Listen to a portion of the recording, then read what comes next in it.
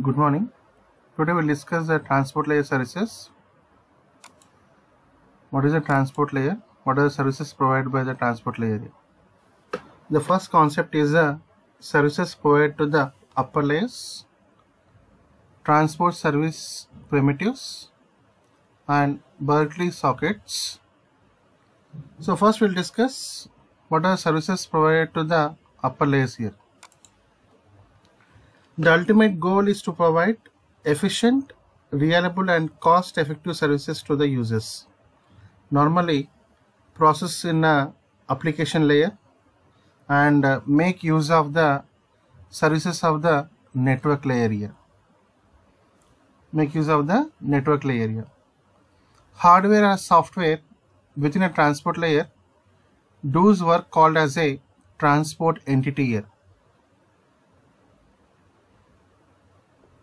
It is located in the operating system kernel in separate user process in library package uh, called as a package bounded in a network application here. There are two types of uh, services, network services generally we can say one is a connection oriented, one is a connectionless here and we can also see two types of transport services. One is connection oriented transport service. One is a connectionless transport service here. Transport code runs on the user machines and network layer runs on the routers operated by the carriers here. Bottom layers as a transport service provider and upper layers as a transport service users you can say. So second part transport service primitives here. So what are the transport service primitives? These uh, transport service primitives allow user to access transport service and must provide some operations to the application programs here that is transport service interface. Each transport service has its own interface and uh, provide reliable service that is connection oriented and also unreliable service as a datagram service here. So transport service might have five primitives first listen uh, listen will block until some process tries to connect here. And connect connection request packet is sent. Actually attempt to establish a connection. And send for uh, packet sent is nothing but data. Send information receive none. Uh, block until the data packet arrives here. Disconnect, disconnect connection request. This side want to release a connection here. There are five primitives, simple primitive uh, primitives for the simple transport service here. Here TPDU, the use of TPDU, transport protocol data unit for messages sent from the transport entity to the transport entity. TPDU are contained in a packets. Packets are contained in frames. Data link layer process frame header and passes the contents from frame payload field up to the network entity here. Now the network entity process packet header and passes contents package payload up to the transport entity here. Now this transport layer, even simple unidirectional data exchange is complicated that network layer. Every data packet sent will also be acknowledged here. These acknowledgements are managed by the transport entities here using the network layer protocol. We have some uh, another socket functions called as a Berkeley sockets. The socket primitives generally used for the TCP. Another set of transport primitives used are socket primitives used, used in the Berkeley Unix for the mainly for the TCP. TCP stands for Transmission Control Protocol. These primitives widely used for internet programming and we have different primitive uh, services here. One is a socket, socket which contains the IP address as well as the port address and creates a new communication uh, endpoint here. And bind attach the local address to the socket, listen, announce willingness to accept the connections, give the queue size here accept system call block the caller until the connection attempts the arrays. Connect system call actively attempt to establish a connection. Send system call a primitive. Send some data over the connection. Receive primitive. A system call receive some data from the connection. And finally the close. Release a connection here the first four primitives that is socket, bind, listen and accept are executed by the servers and uh, socket creates an endpoint connection and allocates uh, some space, a table space for it within a transport entity here. Successful socket call returns a ordinary file descriptor for use in a succeeding calls here and newly socket newly created sockets do not have the network address here. Do not have the network address. For this purpose these are assigned for the bind primitive here.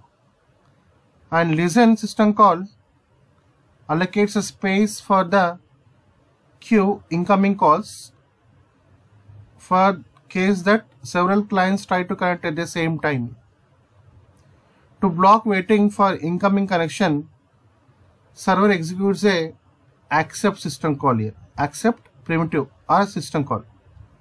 When TPDU is asking for the connection arrives, transport entity creates a, a new socket with same properties as a original one and returns a file descriptor for it. The server can then fork off a process or a thread to handle a connection on a new socket and go back for waiting for a next connection for a on a original socket here. Accept returns a normal file descriptor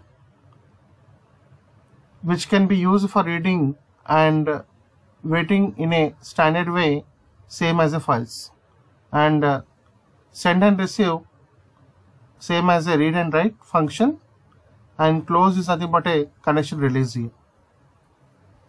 These are the socket primitives for the TCP. Now we'll address elements of a transport protocols here.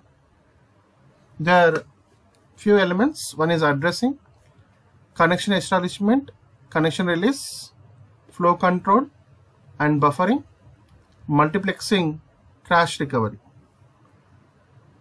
Transport service implemented by transfer protocol used between two transport entities here. A data link layer a data link layer, two routers communicate, uh, generally we go for the data link layer, two routers communicate directly via physical channel. Two routers will communicate via a physical channel, a physical communication channel, via physical channel you can say, whereas in a transport layer, this physical channel is replaced by the entire subnet here. The physical channel is uh, replaced by the entire subnet.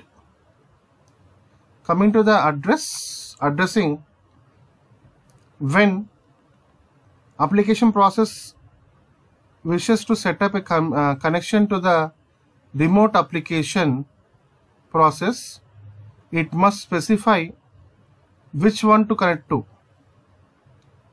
In the internet, these endpoints are called as a ports.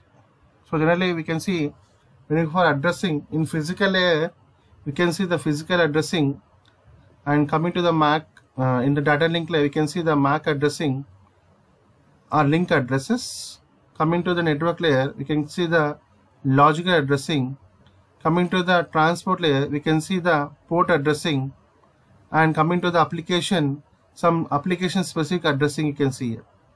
So in internet these endpoints are called as a ports. We'll use generic term called as a TSAP TSAP TSAP stands for transport service access point. In the network layer also we can have NSAP NSAP uh, stands for network service access point here example you can take NSAP as a IP address TSAP as a port addressee. The relationship uh, relationship between NSAP TSAP and transport connection. TSAP addresses work from small number of key services that never exchange, never change. If there are potentially many server process, most of them rarely used and wasteful them to active and listening to the stable TSAP addresses all day long. So for this purpose, better scheme needed here called as a initial connection protocol. Initial connection protocol. Instead of every server listening at well-known well-known TSAP, each machine wishes to offer services to the remote users as a special process server that acts as a pro proxy for less heavily used servers here. If listen is to set up a ports at same time, waiting for connection request. Potential users of a server service begin by doing connect request specifying TSAP addresses of a service they want. After it gets incoming request, process server spams requested service server allowing it to inert existing connection with users here. The new server then goes, does the requested work while process serves goes back to the listening for the new request here. Coming to the connection establishment, the problem occurs when network can lose or store a duplicate packets here. Rather than allowing packets to live forever within a subnet, we must uh, devise a mechanism to kill off the edge packets that are still hopping uh, hopping in the subnet here. Packet life can be restricted to known max using the one of the techniques here. Uh, we need some restricted subnet design putting some hop counter hop counter in each packet timestamping each packet here. The problem occurs when host crashes. When it comes up again it transport entity does not know where it has uh, as a uh, sequence space here. One solution is to require a transport entity to be ideal for t seconds after recovery to let allow all all TPDUs die off. The protocol can get itself trouble in two distinct ways. If host sends too much data too fast on newly opened connections, acknowledged sequences versus the time curve may be arise here. This means transport entity must wait until the until the clock ticks before opening a new connection after the crash restart here. To solve these problems in transport layer, we included the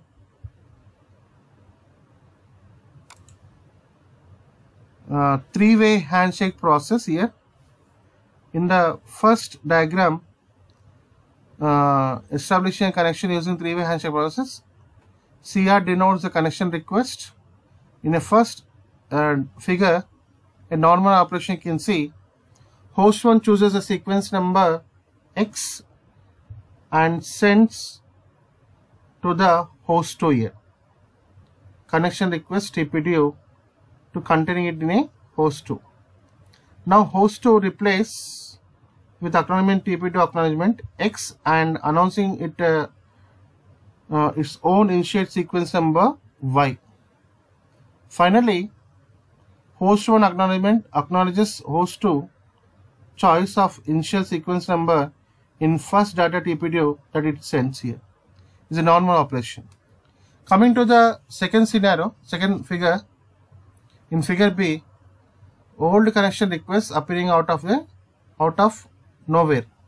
That means first TPD is delayed from the host one, duplicate connection request from the old connection. Okay. First TPD is delayed, duplicate connection request from the old connection.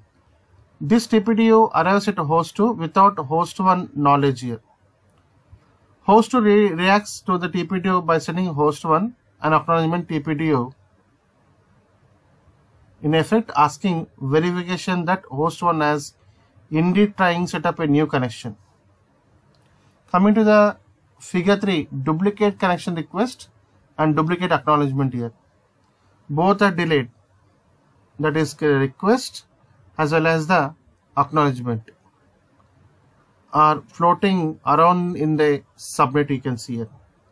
Similarly, for connection release, there are two types of uh, uh, connection releases. There is nothing but uh, two types of termination of connections. One is a asymmetric release, one is a symmetric release here.